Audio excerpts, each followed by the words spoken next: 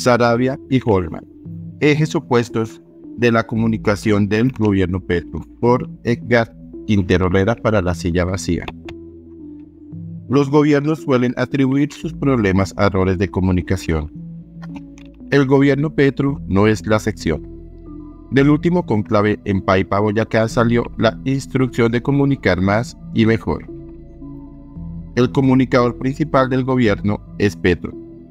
En los últimos siete meses ha trinado 378 veces entre tweets, respuestas, citas y retweets, un promedio de 54 trinos diarios. Trina de todo, desde la guerra entre Israel y Hamas en Gaza, por la que tuvo un intercambio con Benjamin Netanyahu, hasta sus argumentos sobre la existencia de un golpe blando, que recientemente incluyó un enfrentamiento con El Guri, un concejal de derecha de Medellín a quien tildó de fascista y sedicioso. Por debajo de Petro, dos altos funcionarios del corazón del presidente se han acomodado, sin que sea clara una estrategia explícita detrás, en roles opuestos y complementarios para comunicar. Por un lado, la directora del DAPRE, Laura Sarabia, quien controla las comunicaciones al interior de la Casa de Nariño, donde le da más acceso a los grandes medios de comunicación y mantiene canales abiertos con sectores críticos del gobierno. Y por el otro, Jorman Morris, gerente de RTBC, el sistema de medios públicos que ahora dirige por completo y que está convirtiendo en un órgano de propaganda gubernamental y ataque a los rivales del presidente. Los informes gobiernistas de RTBC. La semana pasada las noticias sobre Claudia López y la teoría del golpe blando promovida por el presidente tuvieron un amplio despliegue en las franjas de opinión de Señal Colombia y en RTBC Noticias, el informativo del canal público que se creó durante el gobierno de Iván Duque. Frente a López, rival política de Petro y Boris, la noticia principal fue su llamado a interrogatorio por parte de la Fiscalía. La denuncia ha tenido cuestionamientos desde su publicación por falta de pruebas y rigor. El caso está relacionado con una interceptación publicada en la revista Semana, en la que dos personas afirman que la exalcaldesa utilizó el proyecto del Metro de Bogotá para cobrar coimas por 12 mil millones de pesos. La plata, según la conversación, fue a parar a la campaña de su esposa Angélica Lozano, senadora por el Partido Verde. Sin embargo, la misma semana publicó luego que uno de los involucrados reculó en sus afirmaciones. Pese a tener su origen en un medio de oposición a Petro y falta de rigor, la noticia tuvo un amplio despliegue en la parrilla de Señal Colombia, igual que en Semana. En El Calentado, un programa ahora de opinión política de las mañanas, el llamado a interrogatorio de la Fiscalía a López fue presentado como una primicia. En el estudio para comentar la noticia invitaron al viceministro del Interior, el ex concejal Diego Cancino, quien se convirtió en uno de sus principales opositores de López durante su administración en Bogotá. En noticias de RTBC, el noticiero que se transmite en Señal Colombia, los efectos de la denuncia contra López fueron complementados con entrevistas a otros reconocidos opositores de la exalcaldesa, como los concejales del Pacto Histórico, José Cuesta y Donca Atarasova. RTBC es una máquina de propaganda olorosa y hostigamiento político, comentó la senadora Lozano sobre el cubrimiento. La teoría sobre el golpe blando también recibió los reflectores del canal público. La semana pasada, Petro reactivó esa narrativa, ahora justificada por la apertura de una investigación formal por parte del Consejo Nacional Electoral CNE sobre las irregularidades en la financiación de su campaña. RTBC complementó la teoría sobre golpe blando con una entrevista al ex fiscal general, Eduardo Montealegre, quien llamó a defender al presidente ahí y ha impulsado la teoría de Fall contra Petro. La señal abierta de Señal Colombia también publicó notas informativas desde Medellín, donde el representante del pacto, Alejandro Toro, organizó una reunión política en defensa del gobierno.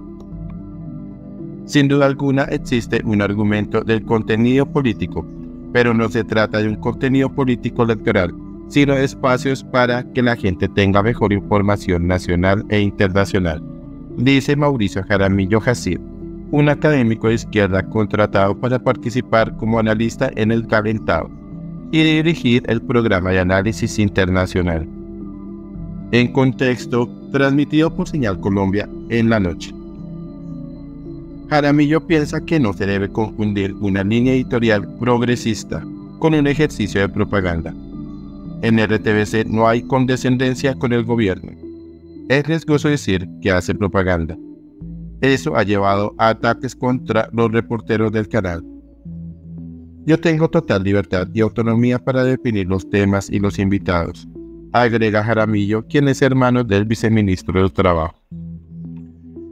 Sin embargo, la ausencia de voces opositoras y contraste con la línea editorial de Morris es evidente las marchas de la oposición recibieron un cubrimiento mínimo y fueron leídas bajo el lente de las reacciones de Petro. En cambio, las del 1 de mayo tuvieron un mayor despliegue informativo. O en el caso del tema del golpe contra Petro, las voces de personas prominentes que cuestionan la existencia de un golpe blando, como Humberto de la Calle, fueron ignoradas por completo, hasta que el presidente lo contradijo. En ese momento, RTBC Noticias tituló Nadie insignificante tumba un presidente, presidente Petro, en respuesta a Humberto de la Calle. Colman recargado.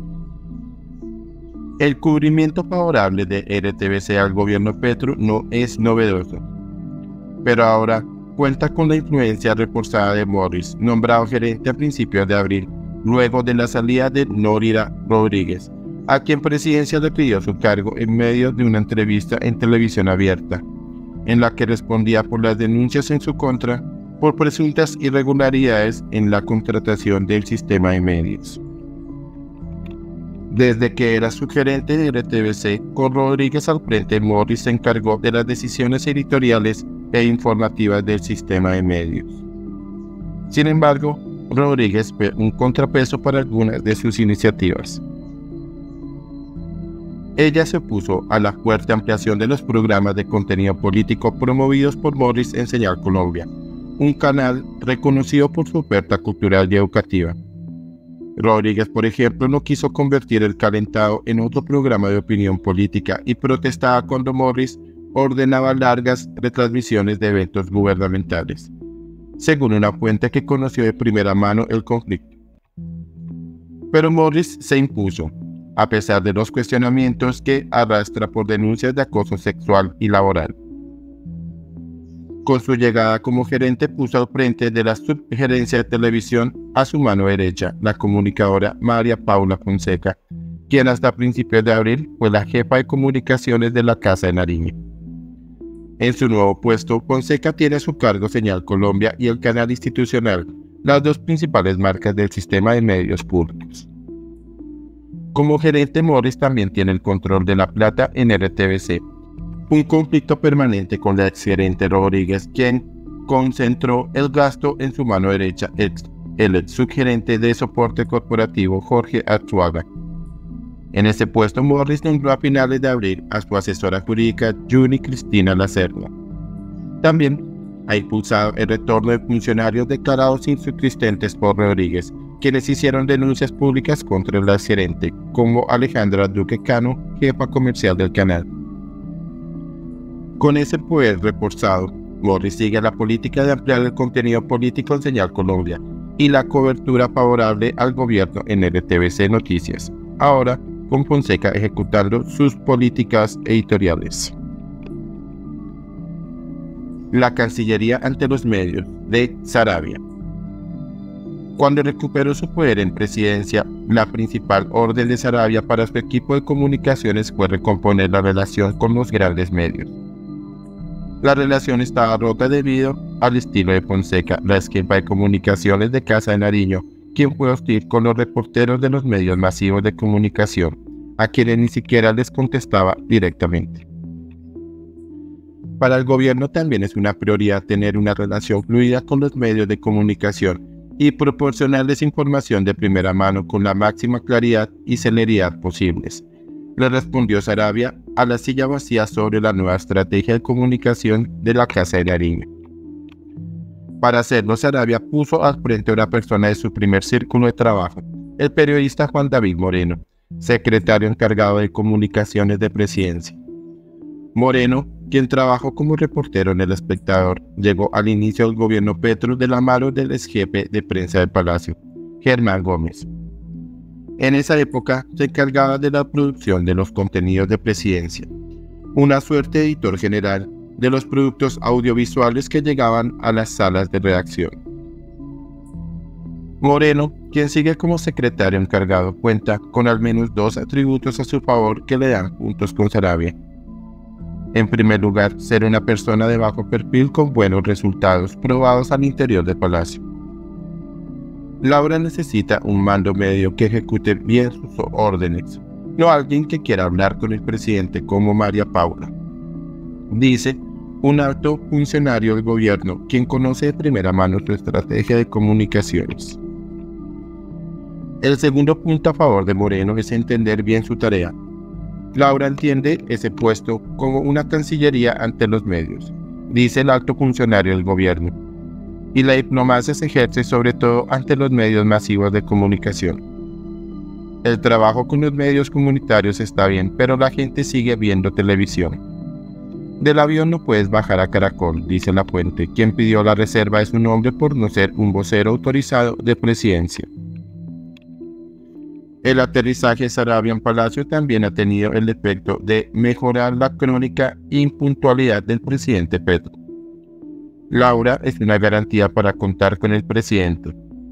Con Carlos Ramón, la agenda era más imprevisible, dice otro alto funcionario de presidencia que ha tenido puentes con sectores críticos al gobierno, como los gremios empresariales. El presidente lleva dos meses llegando puntual a sus eventos, pero eso nadie lo reconoce dice una alta funcionaria del equipo de Sarabia, quien pidió la reserva de su nombre, a propósito de la mejora en los tiempos del presidente, en un momento en que su agenda en las regiones se ha intensificado con más jornadas de gobierno con el pueblo. La última innovación del equipo de Sarabia fue la creación del canal de WhatsApp de Petro. La plaza y las redes le han dado solidez a las comunicaciones del gobierno dice la politóloga María Paula Martínez, analista de medios de En Presunto Podcast. Tiene una gran habilidad discursiva y prefiere la plaza pública. Ideológicamente no son comparables, pero hoy Petro está más cerca en términos de comunicación política de Nayib Bukele que de Nicolás Maduro o Andrés Manuel López Obrador. Se ha convertido en un influencer, agrega Martínez. En esa voracidad comunicativa de Petro, Sarabia y Boris suelen estar un paso atrás, pero cada uno ha encontrado un lugar adecuado para explorar sus mejores habilidades. Sarabia en Casa de Nariño demostrando su pragmatismo político y Morris en RTBC empujando al canal con su activismo izquierda.